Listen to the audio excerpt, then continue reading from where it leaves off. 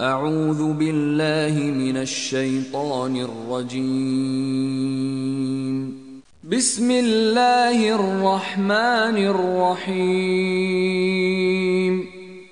Biz Nuh'u kendi milletine peygamber olarak gönderip gayet acı bir azap başlarına gelip çatmadan önce halkını uyar dedik. O da ey benim milletim ben size gönderilen kesin bir uyarıcıyım Şöyle ki, yalnız Allah'a ibadet edin, ona karşı gelmekten sakının ve bana itaat edin ki, sizin günahlarınızı affetsin ve sizi belirli bir vakte, yani ölüm anına kadar azap çektirmeksizin hayatta bıraksın. Çünkü Allah'ın takdir ettiği vade gelince asla ertelenmez. Keşke bunu bir bilseniz. O da, ey benim milletim, ben size gönderilen kesin bir uyarıcıyım. Şöyle ki, yalnız Allah'a ibadet edin, ona karşı gelmekten sakının ve bana itaat edin ki, sizin günahlarınızı affetsin ve sizi belirli bir vakte, yani ölüm anına kadar azap çektirmeksizin hayatta bıraksın. Çünkü Allah'ın takdir ettiği vade gelince asla ertelenmez. Keşke bunu bir bilseniz. O da, ey benim milletim, ben size gönderilen kesin bir uyarıcıyım. Şöyle ki, yalnız Allah'a ibadet edin, ona karşı gelmekten sakının ve bana itaat edin ki, sizin günahlarınızı affetsin ve sizi belirli bir vakte, yani ölüm anına kadar azap çektirmeksizin hayatta bıraksın. Çünkü Allah'ın takdir ettiği vade gelince asla ertelenmez. Keşke bunu bir bilseniz. Ya Rabbi dedi Nuh, ben milletimi gece gündüz dine davet ettim. Ama benim davetim, onların sadece daha çok uzaklaşmalarına yol açtı. Ya Rabbi dedi Nuh, ben milletimi gece gündüz dine davet ettim.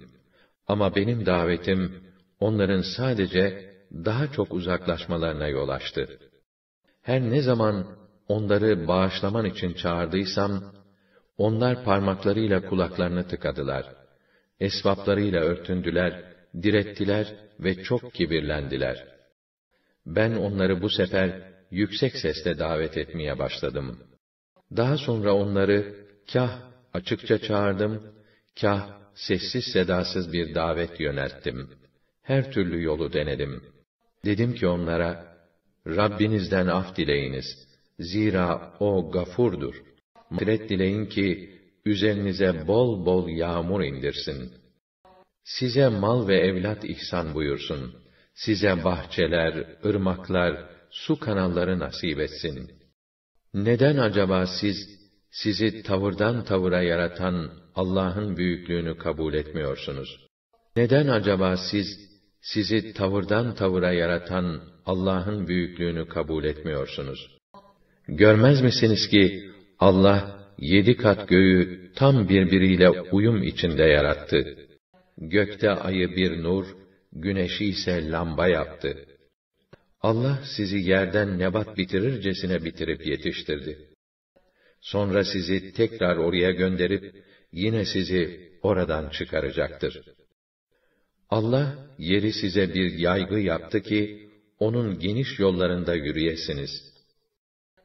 Allah, yeri size bir yaygı yaptı ki, onun geniş yollarında yürüyesiniz. Nuh, Ya Rabbi dedi, sen de biliyorsun ki, onlar bana isyan ettiler. Servet ve evlat çokluğunun kendi ziyanını arttırdığı kimselere uydular. Büyük hile ve tuzaklar kurdular. Sakın tanrılarınızdan vazgeçmeyin. Vet, Suva, Yegus, Yeuk ve Nesri, bunlardan hiçbirini bırakmayın, dediler. Böylece onlar, birçok insanı şaşırttılar. Madem ki öyle yaptılar, sen de bu zalimlerin şaşkınlığını arttır ya Rabbi. Hasılı birçok suçları sebebiyle suda boğuldular ve cehenneme tıkıldılar. Allah'a karşı kendilerine yardım edecek bir tek yardımcı bile bulamadılar.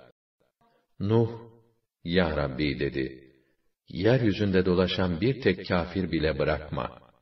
Zira bırakırsan, onlar senin kullarını senin yolundan saptırırlar. Ve sadece kendileri gibi kafir, ahlaksız çocuklar dünyaya getirip yetiştirirler. Ya Rabbi, beni, annemi, babamı ve evime mümin olarak girenleri, erkek ve kadın bütün müminleri affeyle. O zalimleri ise daha da beter eyle, daha da perişan eyle.''